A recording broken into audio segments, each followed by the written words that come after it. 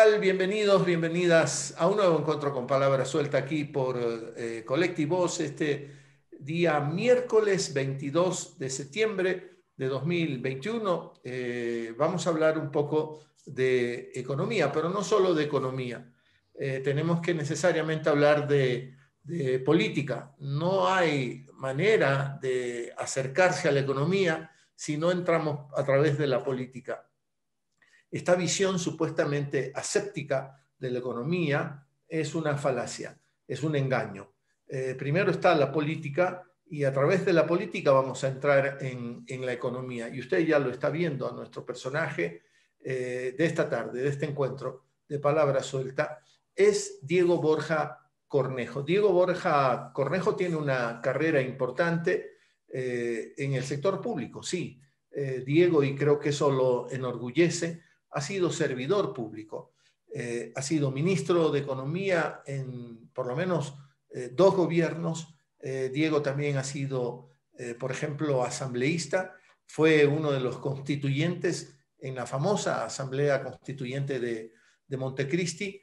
Y, y Diego tiene estudios en economía, es economista, pero también en Europa, en Bélgica, eh, Lobaina la nueva o Lobaina la vieja, no sé en cuál de ellas, ya nos lo confirmará eh, Diego. Eh, Diego también está en el origen, por ejemplo, del famoso caso de Perenco, que cuando uno lo lee un poquito es ciertamente una historia de atraco, una historia de vergüenza, es una historia casi casi como de piratas en pleno siglo XXI que estamos viviendo en el Ecuador. Esta compañía francesa petrolera eh, estaba domiciliada o está domiciliada en Bahamas. Ya nos lo contaba Alex Flores el otro día. Y para hacer valer una demanda en el famoso CIADI, el CIADI, que es este Centro Internacional de Arreglo de Diferencias Relativas a Inversiones, hay que tener un TBI, un Tratado Bilateral de Inversiones, y Ecuador no lo tiene con Bahamas había un accionista de Perenco, ya fallecido, de origen francés, y Perenco, haciendo estas trampas, hizo radicar eh, su domicilio en Francia y con Francia teníamos ese TBI y por eso la demanda contra Ecuador. ¿Y por qué Diego está en el principio? Porque en la época eh, del gobierno del de, el doctor Palacio, eh, Diego era ministro de Economía y ahí eh, se promulga esta ley 42. La ley 42 simplemente lo que hace es una distribución más justa, más equitativa del excedente del precio del barril de petróleo. Había un rango eh, de entre 15 y 20 que se había negociado por barril de petróleo, dólares por barril de petróleo. ¿Qué pasaba si el precio estaba arriba de ese, de ese rango? Había un diferencial y había que negociarlo mucho tiempo, muchos años, las compañías petroleras se, pasaron tomándose para sí todo ese diferencial, hasta que a través de la ley 42, Diego, eh, nuestro invitado, Diego Borja, eh, fue parte de esa decisión política muy importante que luego se fue profundizando aún más en el gobierno de Rafael Correa, para encontrar una distribución equitativa y justa de esos recursos, el petróleo, Diego, perdona la introducción un poco larga. Bienvenido y gracias por aceptar, aceptar nuestra invitación. Gracias, Javier. Encantado de estar en Colectivos en Palabras Sueltas los años. Y bueno, sí, efectivamente tengo estudios superiores en Lobaina La Nueva. Ah, La Nueva. La universidad donde eh, hizo sus estudios también, una parte de sus estudios Rafael Correa. ¿Y lo conociste ahí en Lobaina, Rafael? No, no, nosotros nos conocemos de mucho antes porque eh, Rafael era eh, dirigente estudiantil en la Católica de Guayaquil y yo era dirigente estudiantil en la Católica de Quito. Entonces teníamos algunos eventos comunes porque éramos parte, por ejemplo, de la Asociación de Estudiantes de Ciencia Económica o de la Federación de Estudiantes de las Universidades Particulares y cosas así. Y ahí teníamos encuentros. Te hablo esto de mediados de los 80, ¿no?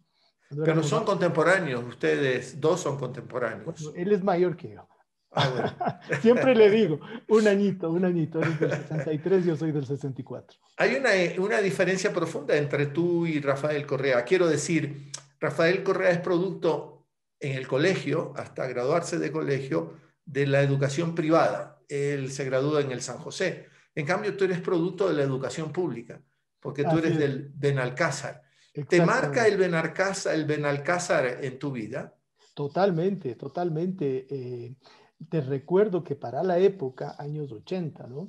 Yo me gradué en el 81 en el colegio, o sea, realmente mis estudios lo hago en, en la segunda mitad de los 70. El colegio Benalcázar era el colegio de mayor excelencia en Quito. Era todo un evento entrar en el colegio Benalcázar y te exigían permanentemente unos índices de rendimiento muy altos.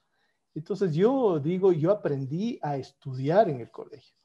Eh, era un colegio extremadamente tradicional, ¿no? es decir, con todas las normas de la época, pero la forma de estudiar eh, muy esto, eh, escolástica la, la, tuve yo en el colegio y eso me sirvió en los primeros años de universidad porque yo salí del colegio y decidí estudiar ingeniería me fui el primer año a la Politécnica Nacional. Y entonces esa disciplina que se adquiría en el colegio eh, sirvió muchísimo en los años posteriores y luego también en, en en los estudios de posgrado. Pero contextualicemos. Te gradúas en el 81, régimen de la Sierra, ya es el gobierno de Osvaldo Hurtado. No, es el gobierno de, de Roldós. Ah, no, pero entonces... Mira, eh, a ver, Roldós no muere en mayo del 81. Claro. Muere, muere es un decir, ¿no? Digo. Es asesinado en, mayo del 81. De hecho, el presidente Roldós nos toma el juramento de la bandera en el, en el Estadio Olímpico Atahualpa a los estudiantes de los sextos cursos el 24 de mayo por la mañana y es asesinado ah. 4 de mayo por la ¿Tú estuviste en la ceremonia cuando él pega el grito Viva la Patria? Por supuesto, yo fui uno de los estudiantes que estuvo ahí y que participó en la silbatina, el momento que se refiere a las medidas económicas del 13 de mayo, pero participó en los aplausos cuando se refiere a la defensa de la soberanía nacional. Esos eh, contrastes tenía Roldós, ¿no? Eh, pero es un momento histórico importantísimo en tu vida, ¿no? Estabas ahí en el Estadio Olímpico Atahualpa, en el Estadio Modelo de Guayaquil se jugaba eh, ese mismo día un partido con Chile, creo. El partido de la selección. Se suspende porque nos enteramos de, el asesinato de, Jaime Roldós, su mujer y otros miembros de, su comitiva. Y, y, es un momento de inflexión clarísimo, porque aunque lo silbaste por las medidas económicas ese 24 de mayo de 1981, el perfil político de Roldós y sobre todo su política internacional era clarísimamente progresista. Clarísimamente, y además hay otra anécdota ligada a esto, porque el 13 de mayo subíamos con un grupo de estudiantes del colegio y de otros colegios por, la, por las cuestas de San Juan, y de repente vemos que pasa un Mercedes-Benz y nos saca la mano a alguien y nos saluda, era el presidente Roldós. Y nosotros que estábamos protestando en ese momento al ver al presidente ahí en el carro como una persona muy cercana, ¿no? Se olvidó la, la, protesta y saludamos igual. Claro, él fue un, personaje definitivo en la política ecuatoriana y latinoamericana, diría yo. Profesor de colegio público, eh, Jaime Roldós, Vicente Rocafuerte, de la ciudad de Guayaquil. Entonces es fácil inferir que cosas como esas te marcan profundamente y muy tempranamente tú te metes a hacer política. Sí, yo entré en la política estudiantil en, justamente en el año 80. Aún no terminaba el quinto curso y, había un, momento, ¿no? Era el momento del fin de la dictadura, del inicio de la democracia. Había una organización en Quito que se llamaba la Organización de Consejos Estudiantiles, de las cuales éramos parte. Todavía no había terminado eh, los estudios secundarios y ya estaba metido en esto, ¿no? Con algunos otros compañeros que nos hemos encontrado a lo largo de la vida, fíjate tú fue muy temprano ese ingreso y luego en la universidad ya con mucha más presencia, con mucha más eh, libertad incluso, porque en ese momento era menor de edad. Pero entonces cuando, cuando estás en la Politécnica, ahí sí ya está el gobierno de Hurtado. Claro, cuando termino sexto curso ya está el gobierno de Hurtado, porque Roldós muere el 24 de, de mayo, nosotros salíamos a finales de junio, ¿no? entonces ya se dio el cambio, ese terrible cambio que le, que le hizo, que le destrozó a la economía en tan poco tiempo, ¿no? Y a la sociedad ecuatoriana. Es clarísimamente ya un, un gobierno neoliberal. El, el, primer, los primeros indicios de ese neoliberalismo despiadado, además, los, los encarna Hurtado, que además fueron eh, clarísimas las modificaciones, los cambios con respecto al gobierno de, de Roldós. por ejemplo, inmediatamente llega Hurtado, se impone toda la carta, la primera carta de intención del periodo democrático con el Fondo Monetario, y vienen las protestas de septiembre y octubre del 82, y luego de marzo del 83. Para ese momento yo ya estaba ahí en la universidad, y recuerdo la tremenda represión con la que Hurtado respondió a esas, esas protestas. Y, y, Hurtado, con Hurtado vivimos la llamada sucretización, ¿no? ¿Qué, qué, qué, qué porcentaje del PIB se, se, se, usó para salvar a los empresarios que se habían endeudado en dólares y que el Estado tuvo que asumir el diferencial de esas deudas? Mira, eh, qué increíble cómo se escucha eh, esta oposición de ciertos analistas, de economistas de corte absolutamente neoliberal vinculados al sistema que denostan tanto de los subsidios, ¿no? De los subsidios cuando son para las clases populares, para los más vulnerables.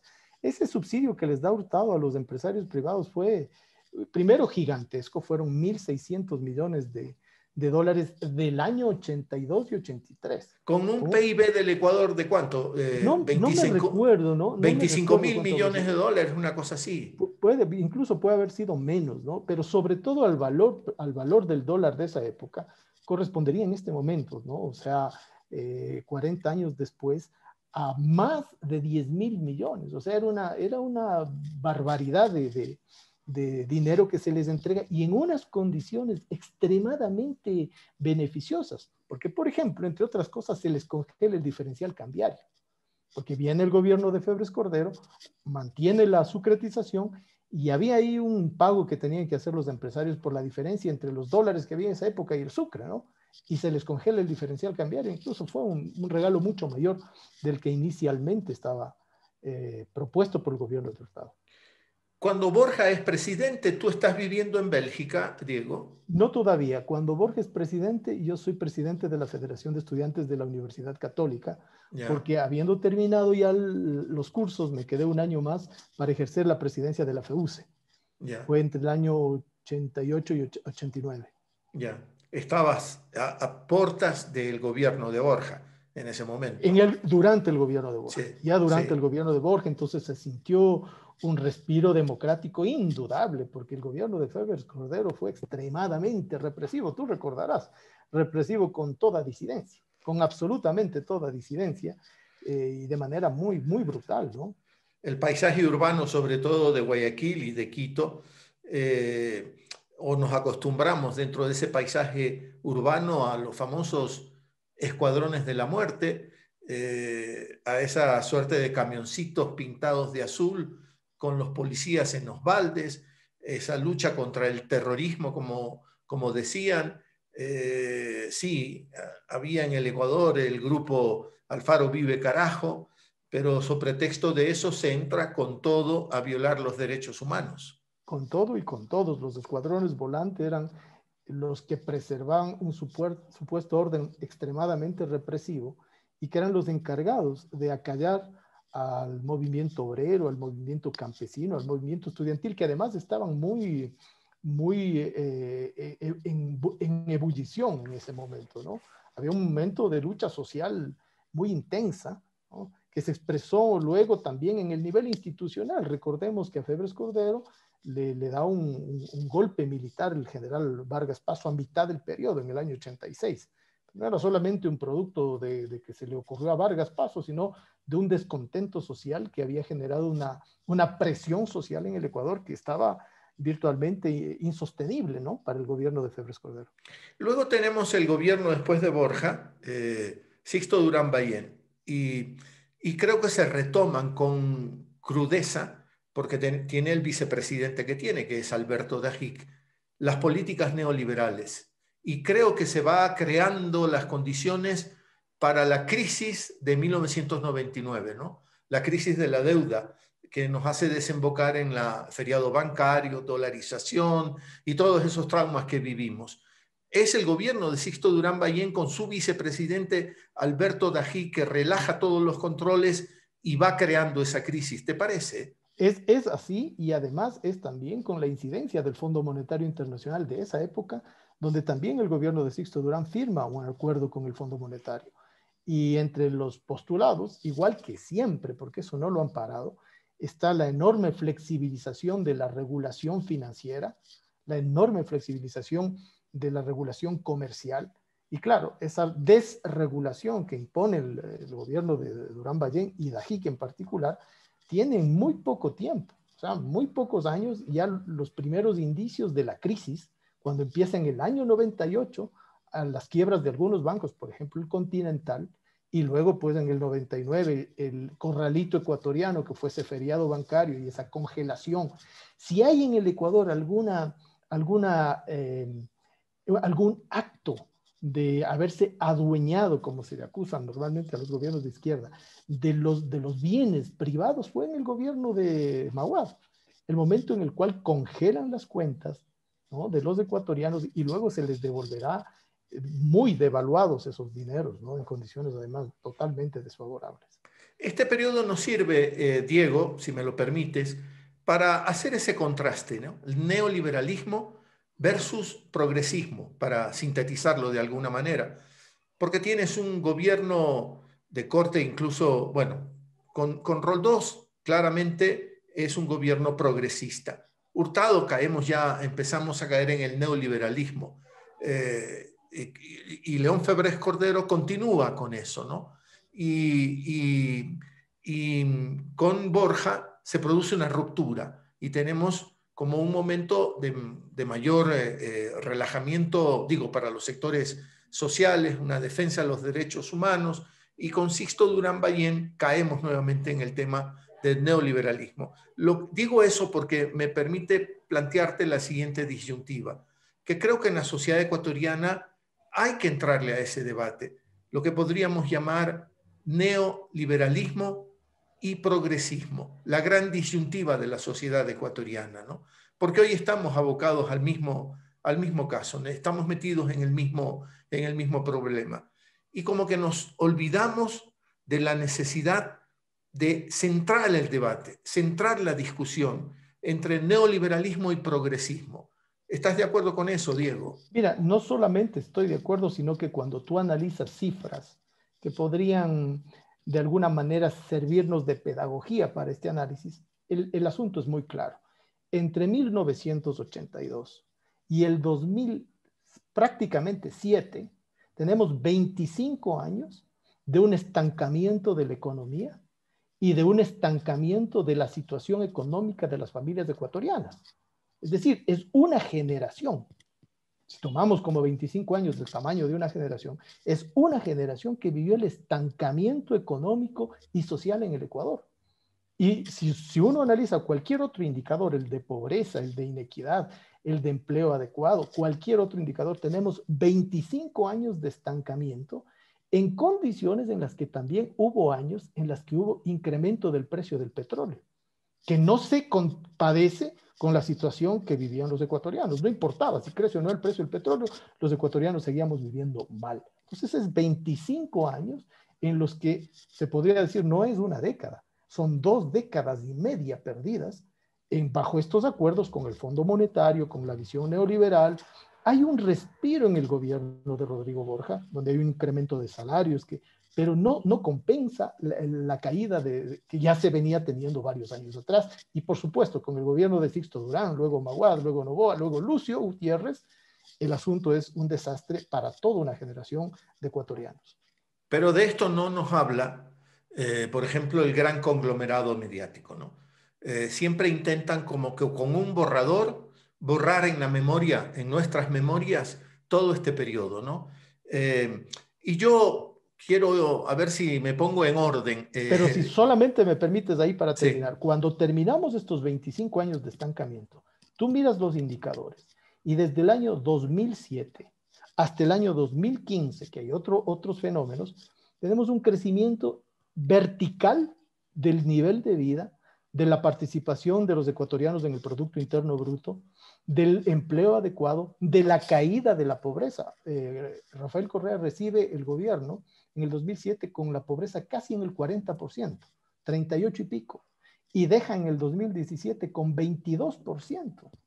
Es decir, es una caída espectacular de la pobreza y una, eh, una elevación gigantesca de la participación en el crecimiento. Se Entonces, dice contrastas los dos años, ¿no? Contrastas, perdón, los dos periodos y es evidente. Ahí está el neoliberalismo y acá está el progresismo. Y se dice fácil, ¿no? Pero para producir esa caída de la pobreza, acuérdate que también se trabajaba con el factor de Gini, para acercarnos a cero, que es cuando mejor estás, tiendes a estar mejor, eh, las políticas públicas, las políticas económicas, las políticas sociales, las políticas educativas, tienen que ser consistentes y tienen que ser profundas. Se dice fácil, pero el esfuerzo fue enorme. Absolutamente, fue un esfuerzo institucional, fue un esfuerzo social y fue el acompañamiento de varios años de lucha social. Porque acá tampoco es que Correa es un iluminado que sale de cualquier lado, que, que puede ser una persona muy inteligente, pero aquí había una lucha social que venía de mucho tiempo atrás y que eh, Rafael Correa logra sintonizar con esa lucha del movimiento campesino, del movimiento obrero, del movimiento de pobladores, del movimiento estudiantil, del progresismo en general, encarna esa lucha y la vuelve una realidad, con unos niveles de redistribución nunca antes vistos, al menos desde el retorno democrático, con unos niveles de participación nunca antes vistos. La, Asamblea Constituyente fue un espacio de participación gigantesco. Luego puede haber ciertos errores que yo en su momento critiqué a Rafael Correa eh, respecto de los temas de participación, de, conflictos con ciertos sectores que creo que pudieran haberse evitado. Bueno, eso ya es un problema de histórica, ficción histórica, ya no se puede remediar, pero si uno hace un análisis del periodo, es, es extremadamente positivo en todos los sentidos. En un sentido económico, incluyendo los beneficios de los empresarios.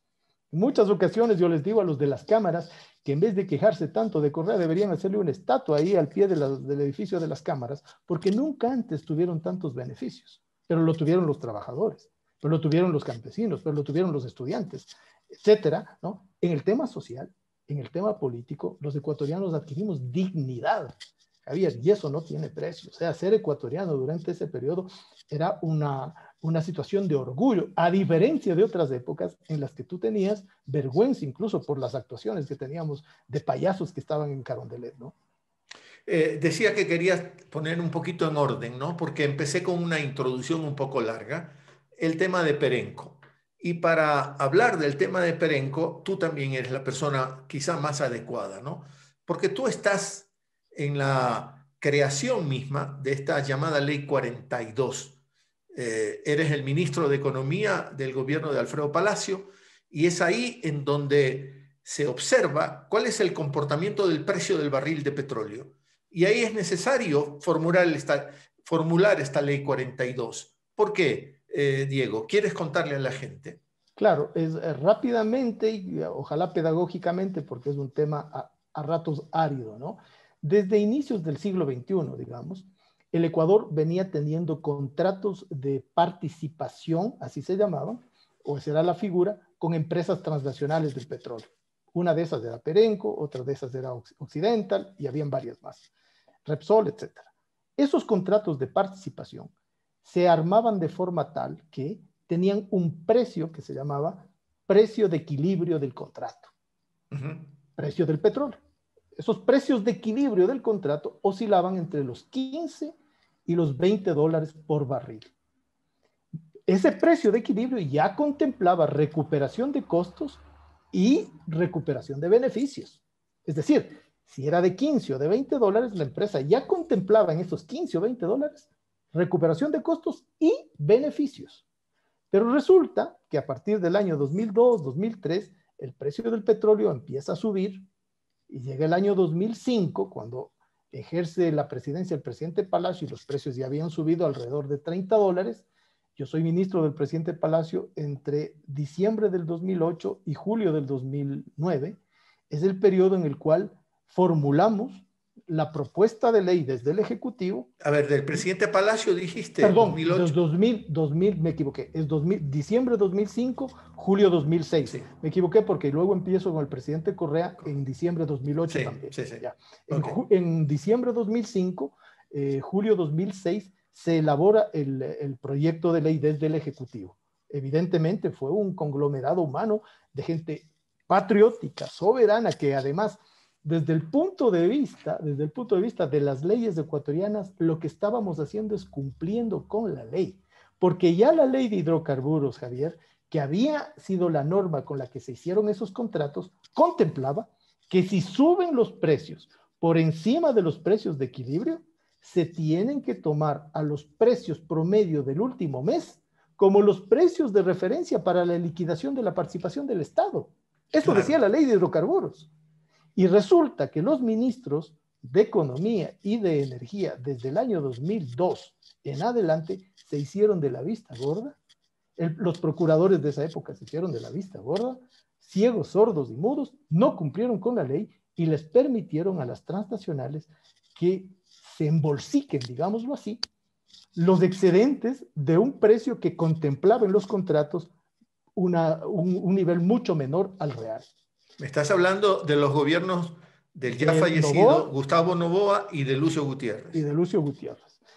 El presidente Palacio entonces, ante esta supuesta falta de eh, claridad en la ley de hidrocarburos, permite que nuestro ministerio elabore un proyecto de ley. Ese proyecto de ley lo que decía es que en el excedente del precio del petróleo a nivel internacional sobre el precio de equilibrio del contrato, el Estado tenía que participar al menos con el 50%. Eso decía el proyecto de ley. Se lo envía al Congreso y el Congreso de la época, en eh, su casi totalidad, aprueba el proyecto. Es decir, no fue ni el presidente Palacio, ni el ministro de Economía, ni el ministro de Energía el que aprueba la ley, pues eso lo hace el Congreso Nacional con la participación de todos los bloques. El bloque del Partido Social Cristiano no se opone, se abstiene, pero todos los otros bloques, la izquierda democrática, el PRE, el PRIAN de Álvaro Novoa, la democracia popular, entre los miembros de la democracia popular que votaron a favor, por ejemplo, estaba el, eh, legislador Rivera, el actual prefecto de, de Loja, no me acuerdo en este momento el nombre, el que luego fue alcalde de Manta, Jaime Estrada, entre personajes que hoy día son cercanos al, gobierno de Guillermo Lazo, ¿no?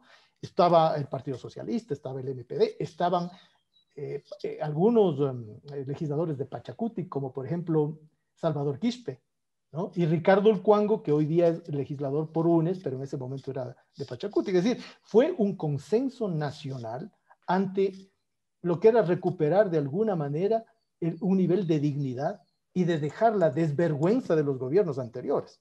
Eso es lo que hicieron los, congresistas. Se, pusieron de acuerdo y ahí coincidían desde la extrema izquierda hasta la derecha, ¿no? Coincidían en la necesidad de que este incremento de los precios del petróleo le beneficie al pueblo ecuatoriano, lo cual era de sentido común. Ahora, la mayoría de las empresas petroleras que tenían contratos con el Ecuador aceptan la renegociación y hay unas pocas, entre ellas Perenco, Burlington, Murphy, que dicen no, eso no es aceptable. Eh, y dentro de esas tres hay una que incluso dice, ok, acepto la renegociación, porque luego descubrimos que están usando muy mala tecnología y que están contaminando mucho en el Ecuador. Pero Perenco mantiene la demanda y se va al CIADI, y yo he dicho en la introducción, se lo he escuchado a Alex, eh, Alex Flores, que Perenco estaba radicada en Bahamas y nosotros no teníamos un TBI con un tratado bilateral de inversiones con, con Bahamas. Sí lo teníamos con Francia. Perenco es francesa, pero no estaba radicada en Francia. Pero Perenco se agarra de un accionista francés que en el momento ya estaba muerto para decir, no, pero mi compañía es francesa por lo tanto, puedo apelar al CIADI y nos clavan esa multa, eh, que en este momento, sumado todo, son como 435 millones de dólares. Y los medios insinúan, los medios del conglomerado mediático, que esto nos pasa porque nosotros incluso no respetamos los acuerdos que teníamos. ¿Qué lectura hacen los medios, eh, eh, eh, Diego? ¿Cuál es la, lectura más rigurosa que se debe de hacer? Mira, aquí hay errores de buena fe y hay claramente errores de mala fe. Y podría decir que diferenciando de errores de buena fe y de mala fe, hay gente interesada en elaborar un relato que cuente una verdad que es mentira. ¿Qué es la, verdad que sucedió? Y eso se puede pedir. Es más, en conversación que he tenido con varios asambleístas de distintos bloques, les he sugerido que pidan la información de cuánto dejó de cobrar el Estado ecuatoriano entre los años 2002 aproximadamente y, y el año 2006 por esa forma de liquidar los precios que no se atenía a la ley de hidrocarburos. Ahí hay una millonada, una millonada. Hay una lesión enorme, hay un perjuicio gigantesco. El procurador, por ejemplo, cuando amenaza con hacer una, una, el actual procurador, me refiero a Íñigo Salvador, cuando amenaza con hacer una ley de repetición, debería empezar la repetición por aquellos funcionarios que no cobraron lo que establecía la ley de hidrocarburos y que les permitió, a vista y paciencia del Estado, a las transnacionales que se lleven ese dinero que tanto necesitaba el país.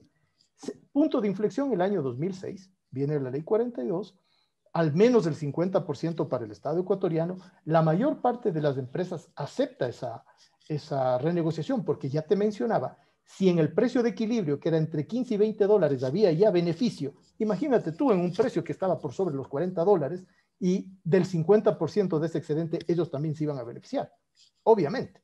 Pero claro, estábamos hablando todavía de precios de 40 dólares.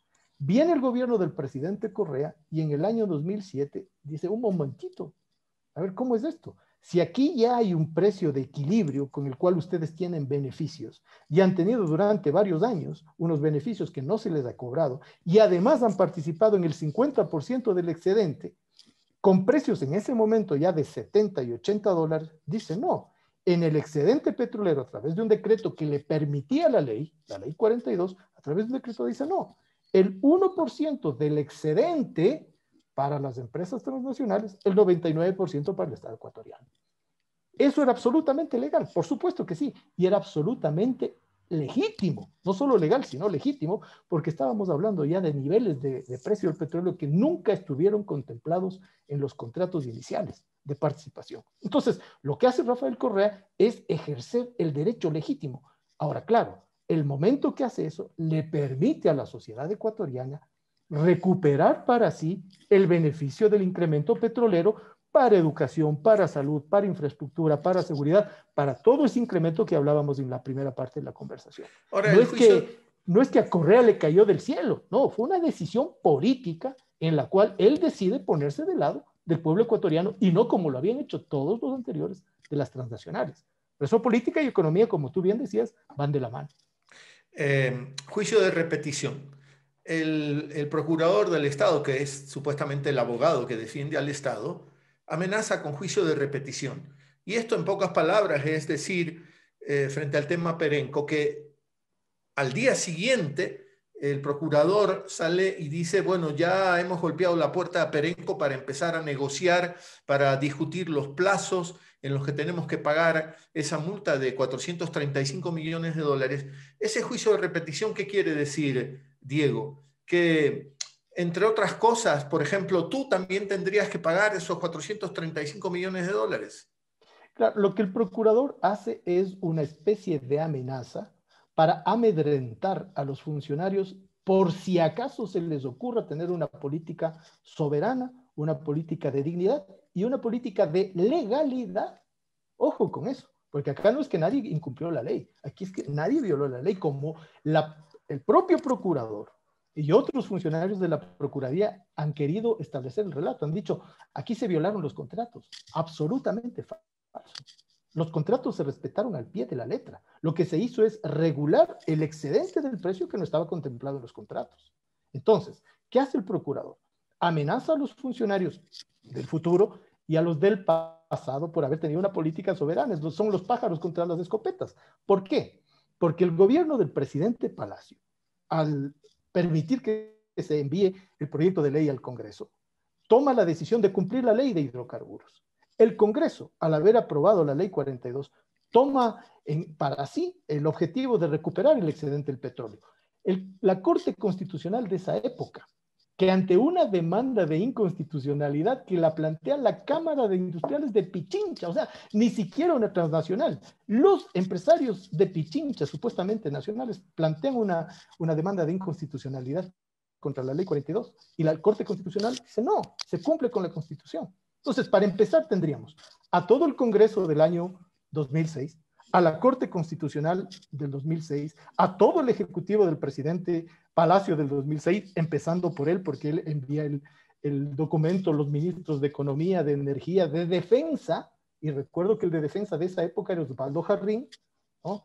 estarían en esta, en esta incursión de un delito absurdo que plantea el procurador y que lo hace desde mi punto de vista también por una enorme mediocridad al no haber sido el abogado del Estado que debía haber cumplido con las funciones y el servicio público que es defenderle al Estado. Mira, aquí tengo con, fecha 1 de julio, el procurador le envía una comunicación al presidente de la República, Guillermo Lazo, donde le conmina a pagar la deuda de Perenco.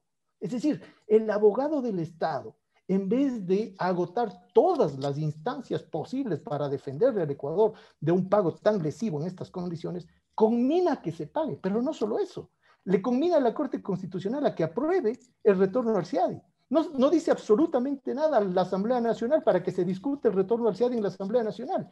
Parecería que no es el abogado del Estado, sino el abogado de Perenco y de las transnacionales porque detrás de la demanda de Perenco, lo que él está haciendo es abriendo la puerta para nuevas demandas multimillonarias que no terminarían nunca y que le obligarían al Ecuador a vivir en un estado de postración casi tan grave como aquella deuda que le impuso el Estado francés colonialista al Haití del 1804 que terminó de pagarla en 1930. Una cosa de locos en el siglo XXI.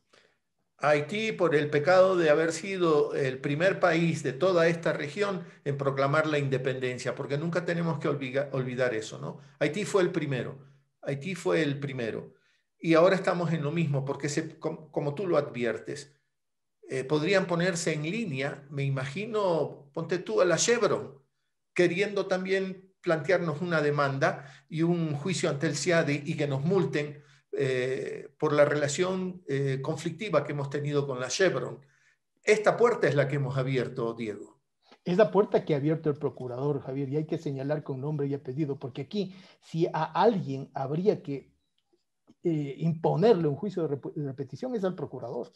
El procurador tiene la obligación legal, está entre las funciones que él jura obedecer el momento que asume el puesto, defenderle al Estado. Y cuando, cuando tú tienes un abogado defensor, así hayas incumplido, que no es el caso del Ecuador, alguna norma, tu abogado tiene la obligación de defenderte.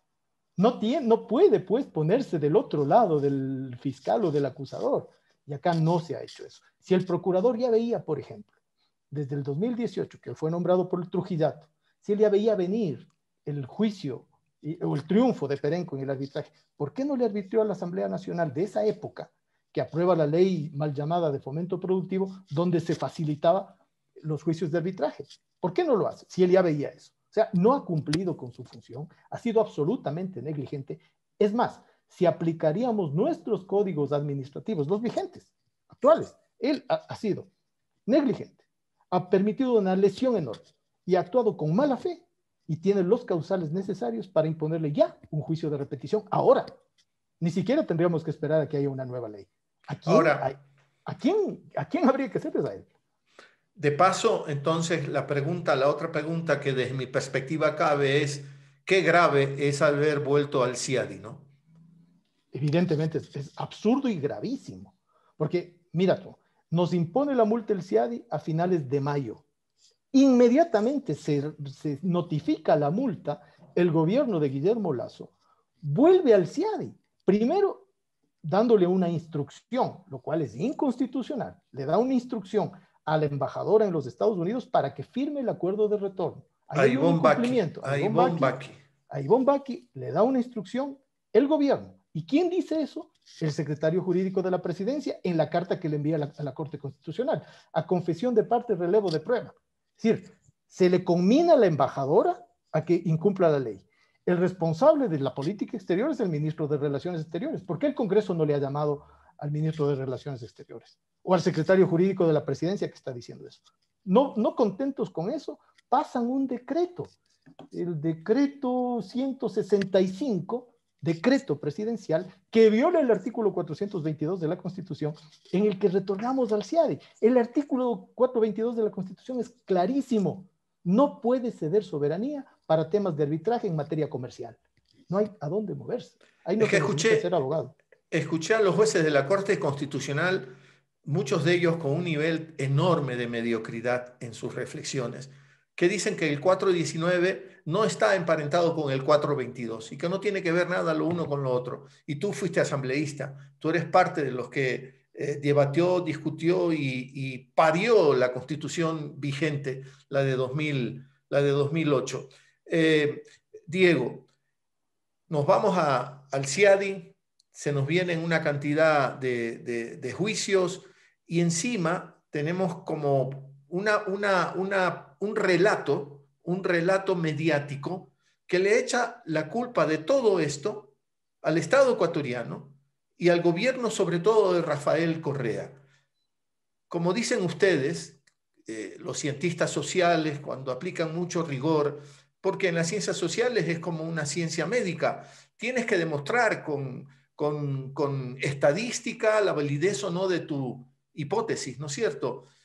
Ustedes dicen, el dato mata al relato. Si tú tienes un relato, me vas a tener que demostrar lo que estás diciendo.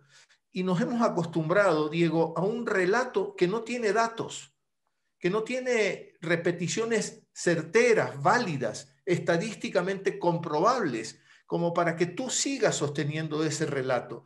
¿Cómo explicas tú todo esto? Bueno, este es un juego de los intereses más grandes del poder, donde obviamente parte de ese, de ese poder con intereses específicos es la gran empresa mediática, vinculada además al capital financiero, porque aquí pueden haber algunos banqueros que hicieron la tramoya de disque vender sus canales, pero ahí lo único que hicieron es cambiarles por determinadas personas que le siguen respondiendo. Entonces está el poder mediático, el poder financiero, el poder político en este momento en manos de un, de un bloque que contempla, que considera que lo que hay que hacer aquí es eh, TLCs, eh, políticas neoliberales, acercarse al Fondo Monetario, someterse a los Estados Unidos, etcétera. ¿no? Es, un, es un bloque que genera un relato a través de todo su poder de, información y de desinformación, en el cual lo que repiten y repiten es una falsedad, pero a ratos de niveles eh, de antología, ¿no? Y, eso ha ido de la mano con el relato mediático y la persecución política. O sea, ¿cómo pensar? ¿Cómo yo, y yo quiero decirlo en este espacio, ¿no? ¿Cómo pensar? Eso debe ir para los anales de la mediocridad jurídica mundial, que un, un expresidente de la República es enjuiciado por influjo psíquico. Yo creo que esto debe causar realmente eh, hilaridad en las, en, las, clases de derecho de cualquier universidad del mundo y debe también causar preocupación y motivo de estudio en las clases de psiquiatría, pues, porque esto es de locos. ¿no? Eso, eso no, no, no, no, no, no existe en la... Pero eso está ahí. Y el presidente Correa es perseguido y se le ha impedido participar en su legítimo derecho político por un juicio de influjo psíquico. Entonces, si eso es así, con un esquema mediático perverso que distorsiona la verdad, miente. Te, doy ejemplos. Eh, la corrupción de Correa es de 70 mil millones de dólares y se le pone como fuente al BID, al Banco Interamericano de Desarrollo. Y no lo dice quien quiera, lo dice el propio presidente de la República. En estos días del BID ha aclarado que no es cierto. O sea, la, la fuente que se cita dice que es mentira. Y Fran Press, Fran Press también lo ha dicho.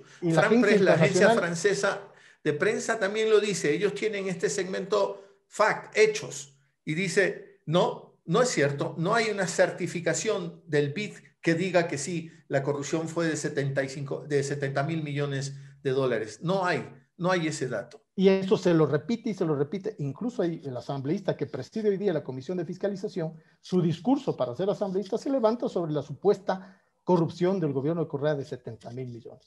Uno, dos, se decía que la deuda de, Correa, en, cuando él terminó el gobierno, era de 70 mil millones de dólares. Les gusta la cifra, 70 mil.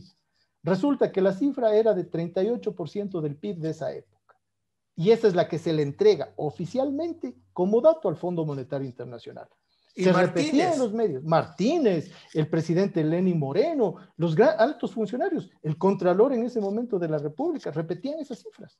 Y resulta que cuando se le entrega las verdaderas al Fondo Monetario para obtener los créditos que obtuvieron, le dan la cifra verdadera y no pasaba del 38%. Entonces, segunda mentira. Tercera mentira, se le ha dicho al presidente Correa, se le ha dicho que es la década perdida, ¿no? la década robada, dicen algunos. Y cuando tú mides, y esto es que es de locos, cuando tú mides el periodo de 25 años, desde el 82 hasta el 2007, y el periodo del 2007 al 2015, que son 12 años, 12 años, ¿no? ¿Tres? ¿Cuántos? no, no, menos. 2015, no, no, 2000, menos 2007, pues, 2015, son 8 años. Sí, Son 8 años. El de 25 años con el de 8 años, resulta que en el de 8 años todos los indicadores, crecimiento, Producto Interno Bruto por habitante, eh, pobreza, inequidad, estaban en mejores condiciones. Y eso dicen los datos, los datos de ellos mismos, del INEC, del, del SRI, del Banco Central. Pero los medios repiten otra cosa.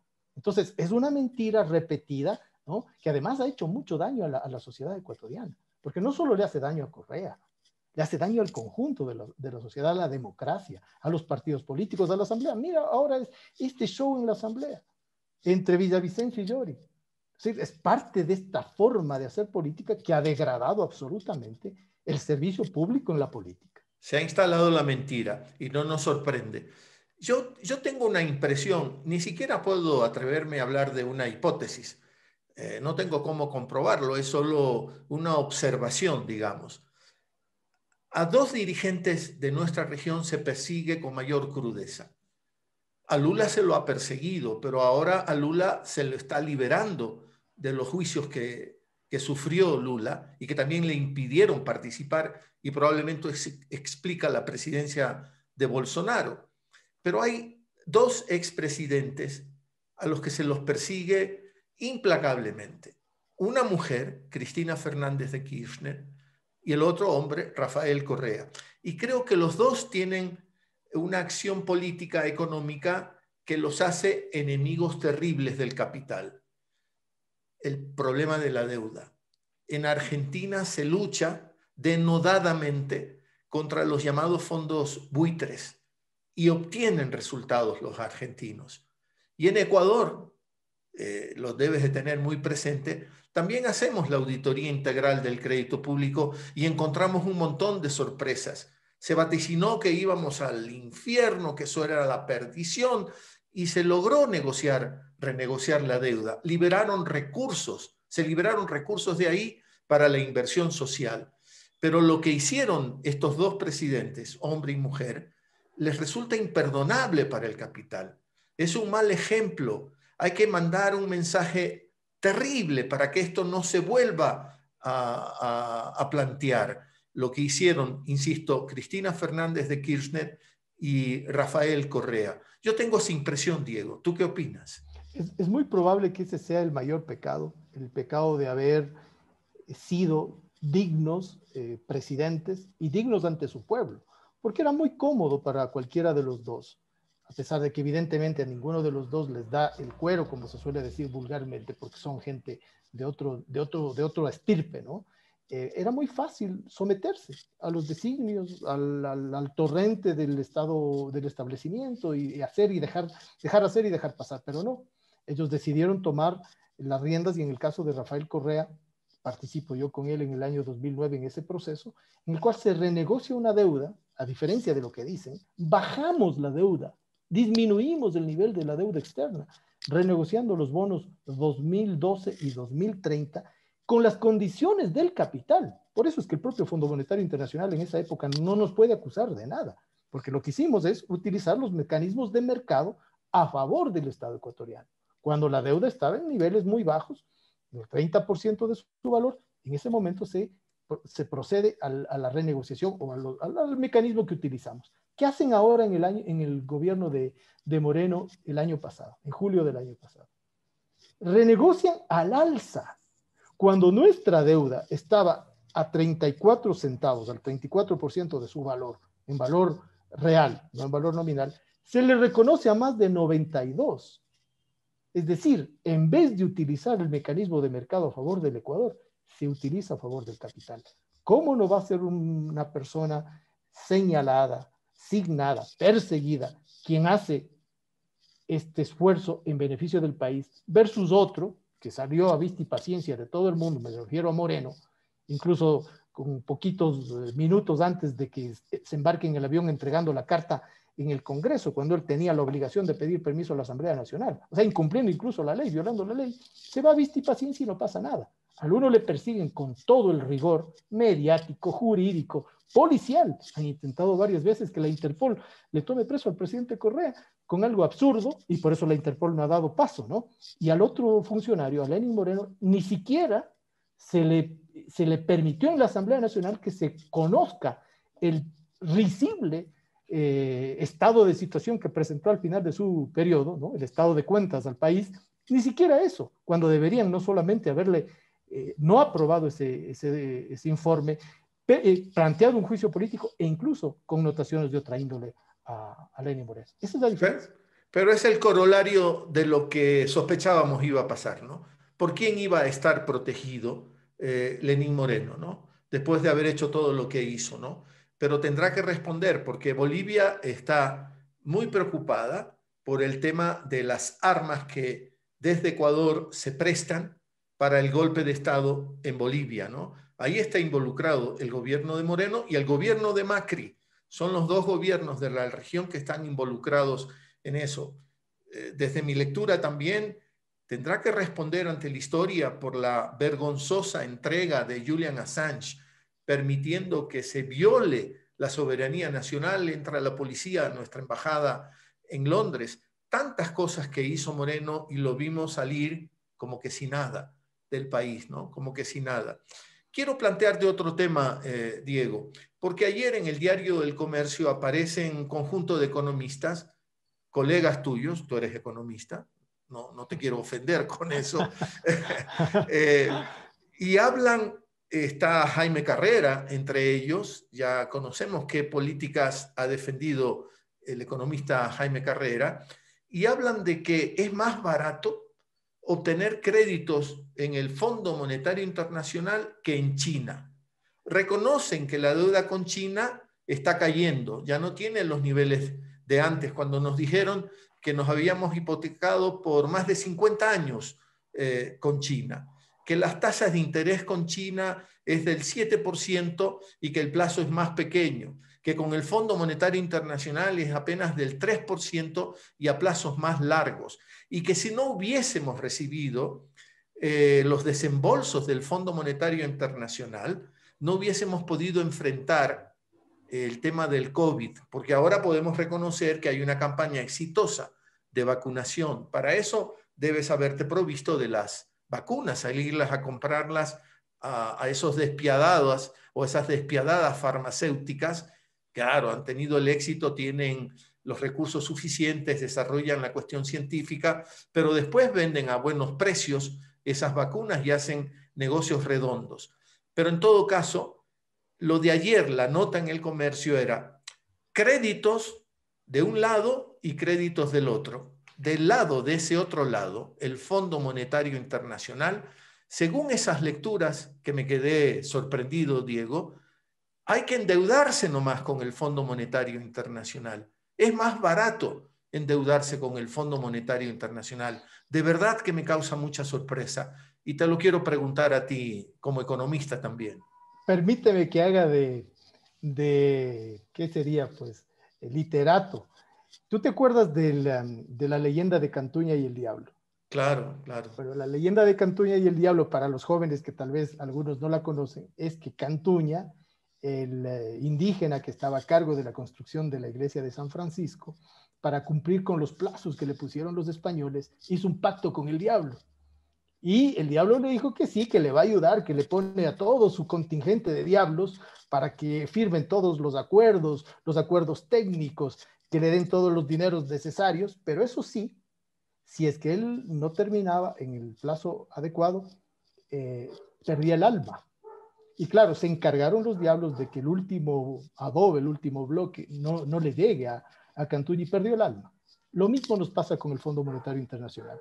Es cierto que tú tienes el 3% de tasa de interés, que puedes tener plazos más largos, pero lo que te dicen por debajo en los acuerdos técnicos, en los acuerdos de intención, en las cartas de stand-by, en todo eso que se ha firmado, es una cantidad de cosas en la que el Ecuador pierde el alma y pierde el cuerpo.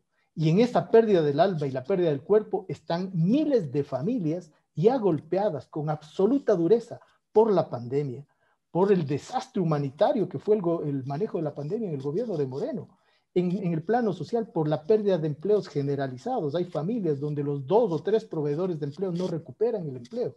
Hay familias ecuatorianas y quiteñas especialmente que han tenido que sacar a sus hijos de las escuelas privadas porque no pueden pagar las pensiones, que no pueden acceder a los, al Internet para que los niños reciban o los jóvenes reciban clases virtuales, que tienen deudas con la luz, el agua, el teléfono, los bancos, las cooperativas, el chulco.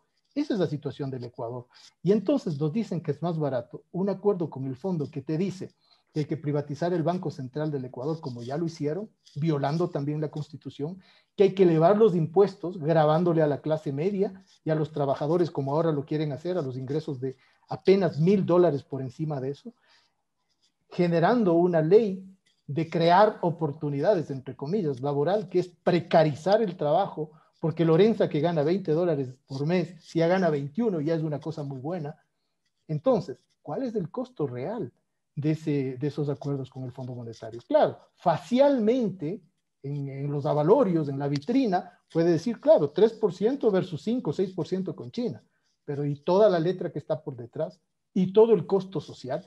No en vano, Javier, no en vano, detrás de los acuerdos con el Fondo Monetario Internacional siempre van las botas y las bombas, porque la población no se queda no se queda tranquila. Eso ha pasado en Bolivia, ha pasado en Grecia, ha pasado en muchos países donde el Fondo Monetario sigue manteniendo una forma de imponer la política que al final del día al único que le beneficia es al capital financiero. Porque, por ejemplo, en la proforma que acabamos de ver que le negó el, la Asamblea al, al, presidente de la República, lo que sí garantizaban es los pasivos contingentes para el pago de deuda externa y de arbitrajes internacionales en desmedro de la educación, de la salud y de la seguridad, que estamos viendo todos los días cómo se hacen más profundos esos problemas. Ese es el costo. Entonces, si a Carrera y compañía les, nos quieren hacer creer que ese 3% es 3% real, cuando podríamos hacer un cálculo de cuánto es ese 3%, realmente va a ser muchísimo más alto y diferenciado porque es más alto para los más pobres, es más alto para los más vulnerables. Quienes sí se benefician es aquel segmento que será el 0.01% de los ecuatorianos que pertenecen a ese grupito del capital financiero y de otros capitales vinculados al gobierno. Y con esos ajustes vamos a empezar a ver, como ya lo estamos viendo, el derrumbe de ciertas conquistas, ¿no? Por ejemplo, las cuatro universidades emblemáticas, ¿no? Que empezarán a, a, a sufrir de recortes presupuestarios, porque esa es otra de las exigencias de un organismo como el Fondo Monetario Internacional. Mencionaste a Grecia y tu conocimiento de Grecia es bastante importante, ¿no? Estuviste de observador eh, del tema de la deuda griega por invitación del gobierno griego. Así fue, fui parte de la comisión, en ese caso fue del, Parlamento griego, ¿no? No fue el gobierno de ah, Cipras, sino del Parlamento, que conformó la deuda para la verdad de la, Comisión para la deuda de la, para la verdad de la deuda griega.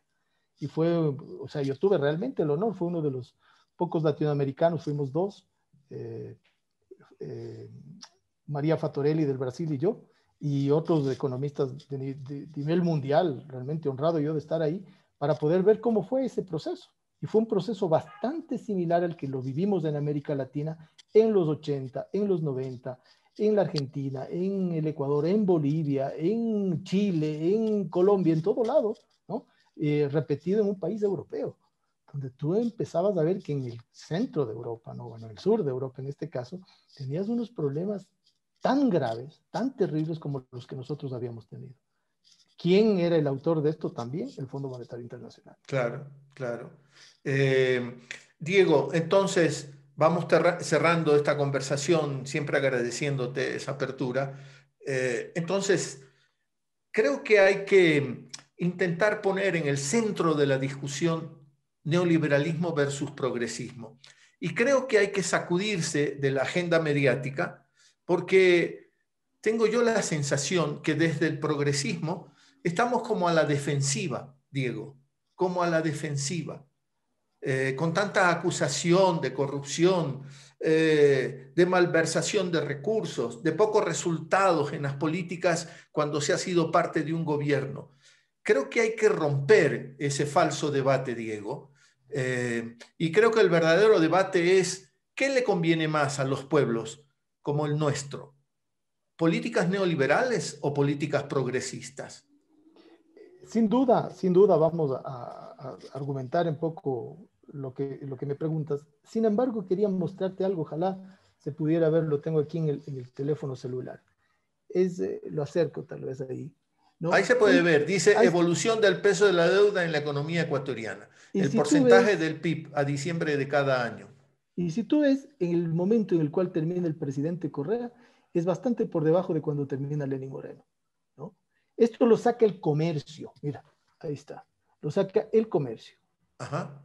Lo saca el diario El Comercio el 21 de enero de este año. Es decir, mientras los analistas serios que puede tener cualquier diario, cualquier canal, sacan esto y te muestran la realidad, los, um, los columnistas de opinión, los dueños de los medios, dicen otra cosa. Entonces, es ese momento en el cual las mentiras se repiten incluso a despecho de quienes en los propios medios son gente seria. Porque seguro hay periodistas serios, seguro, como esta persona, que es Mónica Orozco del Comercio, que saca la verdad de la, de la deuda. pudimos ver que la curva que la curva tiende a crecer, eso pudimos ver. Puedes leer las dos estadísticas clave, cerrar el gobierno de Correa y cómo cierra el gobierno de Moreno. El gobierno de Correa cierra con 38.2, que es lo que decíamos hace un momento, y el gobierno de Moreno cierra con 65.3. ¿no? no lo dice el correísta comunista Diego Borja, no, lo dice el, el diario El Comercio. Porque claro, si es que tú coincides en los datos reales, ya eres correísta y, eres, eh, y eso ya es malo, que además es parte del relato del cual hay que salir, porque esta dicotomía correísmo-anticorreísmo también le ha hecho mucho daño al Ecuador. Yo creo que en esto que tú estás planteando está la salida. Cuando ponemos de un lado el progresismo, tienen que haber las corrientes diversas que hay en el progresismo. Entonces, en el progresismo está el correísmo, pero están otras corrientes. Están esos 14 legisladores del Pachacuti que votaron en contra de esa, indignidad que hizo la Asamblea en el juicio contra el defensor del pueblo, Freddy Carreón. Están sectores de gente que tiene causas que no son ni correístas ni del Pachacuti, que tienen que ver con eh, ambientalistas, con jóvenes, con temas de género, de derechos humanos, de derechos estudiantiles, que tienen que ver con el acceso a los territorios en las ciudades, al espacio público, a movilidades diferentes, etcétera. Tiene que ver con un conjunto de sectores que tienen que trascender esta falsa dicotomía correísmo y anticorreísmo que al único que le, que le hace daño es al país esto, trascender y poder configurar un bloque un bloque social y político progresista donde caben causas correístas, donde caben causas de la CONAIE, donde caben causas de los ambientalistas y de las mujeres y de los otros movimientos sociales y políticos que hay en el Ecuador, donde deberían caber causas de la izquierda democrática. Mira, el día que me invitaron hace pocas semanas atrás a la, Comisión de Fiscalización de la Asamblea Nacional, yo les mostraba ahí y ahí estaba un legislador que en ese momento era de la izquierda democrática, Pedro Velasco, que uno de los autores claves para que haya pasado la ley 42 que recupera la soberanía petrolera fue el presidente del Congreso de esa época, Wilfrido Lucero. Lucero un honorable carchense, primero demócrata cristiano, luego de la izquierda, izquierda democrática. Y quien propuso esa ley fue el legislador del oro de la izquierda democrática, que en este momento se me va el nombre, el legislador del oro de la izquierda democrática de, esa época. Y el bloque de la izquierda democrática en su conjunto se apersonó de ese, de ese proyecto de recuperación. Y lo mismo hizo el bloque de Pachacutic de esa época. Entonces, en este momento que estamos viviendo una cosa muy parecida a la de finales de los 90, inicios del siglo XXI, debería trascender estos pequeños intereses a ratos minúsculos, que son ilegítimos. Si son personales, intereses legítimos está bien, pero cuando son minúsculos debería trascender y configurarse un bloque político y social que permita impulsar una agenda progresista. ¿Qué es la agenda progresista? En este momento de pandemia, gasto e inversión en beneficio de la gente. Educación, salud, seguridad, protección. Primerito, antes que, juicios arbitrales, antes que pagos de deuda. Primerito el, presidente Borja, de la izquierda democrática, decía, primero pagaremos la deuda social, luego veremos. Eso es inminente hoy día. Segundo, tener una política de soberanía, de dignidad con nuestros recursos naturales. El presidente Lazo, a través de dos decretos, el 95 y el 151, está pretendiendo hacer tabla rasa de cualquier viso de soberanía y entregar nuevamente a las transnacionales del petróleo y de la minoría nuestros recursos naturales, incluso en contra de normas ambientales con el decreto 151. Y con el 165, pues la, cereza del pastel con el retorno al CIADI. Entonces, segundo elemento de una, de una propuesta, de un programa progresista, tener una soberanía frente a nuestros recursos. En tercer lugar, abandonar la lógica de la persecución. Yo le escuché al presidente Guillermo Lazo decir en el momento que se posesionaba, que él no entrará en la lógica de la persecución. Y ahora le escucho otra vez con el mismo relato de la persecución y del correísmo y de no sé qué. Permitir que el Ecuador recupere la dignidad en la política con la participación democrática y que nos enfrentemos como contradictores con las ideas y con los argumentos. Pero yo no puedo declararme enemigo de Lazo porque piensa diferente que yo. O no puedo declararme enemigo de Correa porque tenemos matices de diferencia. No, tenemos posturas diferentes y eso no se está permitiendo. Entonces, yo creo que ese bloque progresista tiene agendas económicas, sociales, políticas, culturales, que bien pudieran darse si es que tenemos un solo elemento, ponerle a la patria por delante. Con ese elemento yo creo que nos podemos diferenciar seriamente de lo que es toda esa política antipatria, si a algunos les suena raro, a, a, ya caduco, una política antipatria como es la política neoliberal, de vender todos los activos públicos, de vender todos los bienes públicos, de privatizar el petróleo, de privatizar las, la industria eléctrica y de utilizar al Estado en beneficio de grupos y no en beneficio de la mayoría. Dijiste una política que quepan, en la que quepan todos, eh, con, con honestidad intelectual, con inteligencia, con respeto, con defensa de, las, de la soberanía, con la patria por delante pero lo que no debe caber es la mentira.